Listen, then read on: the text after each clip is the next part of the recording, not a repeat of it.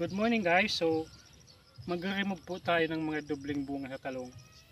So kasi hindi sila nag-grow ng maayos kung makita po ninyo to.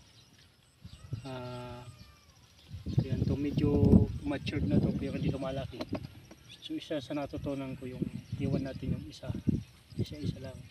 Saka mga unang bunga to nito kaya medyo maliit at kasi ah, kunti lang ang nilagay nating fertilizer. So, yan po, gagawin natin. Ito po ay okay, pwedeng pambinta pa sa kiling gulay. Ibibinta po natin to kasi wala naman, sabi ko wala, wala tong spray. So, ibibinta natin to. Okay to, maliit lang talaga. Ta- Iiwan natin yung isa. So, yan. Kasi yung iba, ito matanda na to. Ito, hindi na to pwede. So, nakita nyo po, ito ay may biak na bunga. Tatanggalin natin yan ito pwede hard kaya na to matured na to. So mga matured na bunga na to kahit maliit tatanggalin po natin na. Okay so ito may sira. Tanggalin natin. So ito may may sirang dahon kailangan natin tanggalin. So dito sa kabila so makita nyo po ito dalawa ito may sira So iwan natin lang po isa, isahan para lumaki siya. Para lumaki. Yan. Matured na po siya. Kaso maliit. Kasi doble-doble. Masira to. Matured na po ito. So ito, nakakita nyo po, madami tatanggalin natin yung isa. So ito pa. Papalaki natin yung isa. So ganun po ang gagawin po natin ngayon. Kasi may nag order ulit. Ito matured na. Pang kusina na po ito mga ganito. Kasi hindi niya masyadong nabibili. So yan po. Ito pang kusina ito yung pambenta mga matured na po sila. So kahit maliit.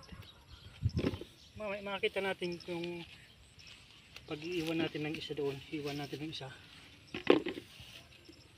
Ito may sira. Kusina yan yan po. Okay yan so nakita nyo to masyado ng matured. Kahit maliliit kung nakita nyo po tatanggalin natin yan So ito yung sinasabi ko po sa inyo, isa lumalaki siya. Lalaki pa to kasi sa isahan lang. So wag natin pa doble-doble yung bunga, mga bunga. Tapos tatanggalin natin to. So, iwan natin yung isa pang kusina ulit. Ito matured na, tanggalin natin yung isa. Dito siya. Yan. Nga pang kusina.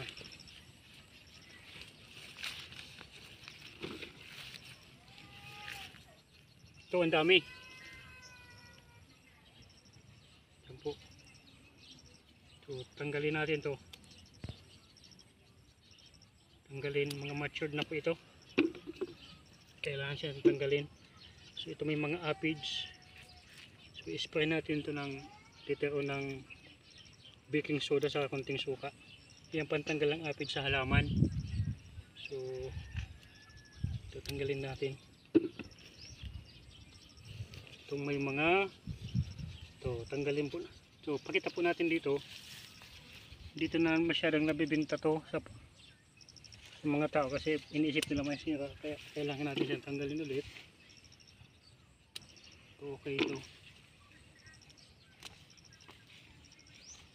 Ito.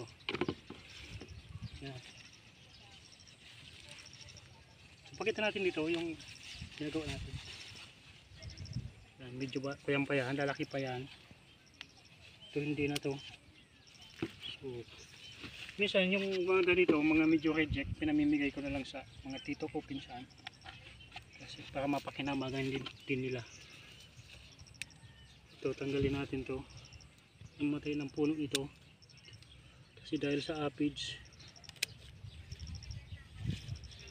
yan, isa lang ang iniwan natin. para makabuelo. Dito, dito. Yan po. Tutuloy-tuloy lang natin to. Iwan natin tong isa. Tanggalin natin to. Tapos ito po. Tanggalin natin parehas. Bakit na, kailangan natin tanggalin? Ito kasi may sira na. Ito matured na kahit maliit. So ito po yan. May sisira. Pang kusina, pamigay. Ito yung pambenta. Na lang po ang gagawin natin ngayon. Hanggat maubos na natin. Ito madami po ito kung makikita po ninyo. Yun po ang gagawin natin. Try natin kung makailang kilo po tayo. So I think kayang mga 5 to 10 ngayon pong araw. Kakarbis ko lang kahapon ng 7. So hindi po siya naubusan ng bunga. Kaya kung magtatanim po tayo, maganda yung talong. Suggestion lang po kung gusto niyo mag-farming. Yun lang po ang gagawin natin sa talong. Samahan natin may ukra ko dyan sa baba. At may mga sitaw akong tinatanim at kalabasa. So napaganda po ng talong kasi hindi siya ah, kailangan ng maraming tubig. So lagi yung sinasabi na wala pa po itong spray. Kunting fertilizer lang pero spray po hindi pa po nakakalasang spray. Kasi yung mga nauna kong video pinakita ko yung paano magtanggal ng uod ng mano-mano.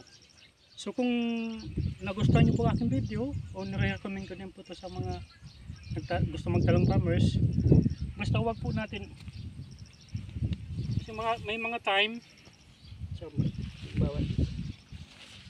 Na doble-doble yung bunga.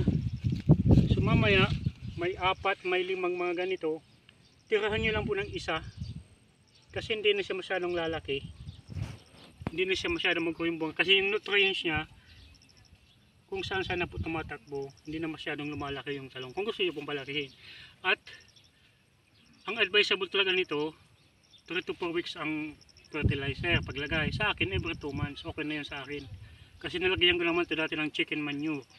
So yun po ang ah, pag ah, pag-apply ng fertilizer. Pero promise wala pa talaga tong spray. Kaya hindi siya masyadong kagandahan. Pero okay lang. Malinis naman. Wala naman masyadong uod. Napakadalag ng uod. Kaya okay lang. So yun po mag-suggest mo kung gusto magtanom yung ng talong o yung mga magtatanim pala. So huwag niyo pong kalimutan mag-follow, share and subscribe. Maraming salamat po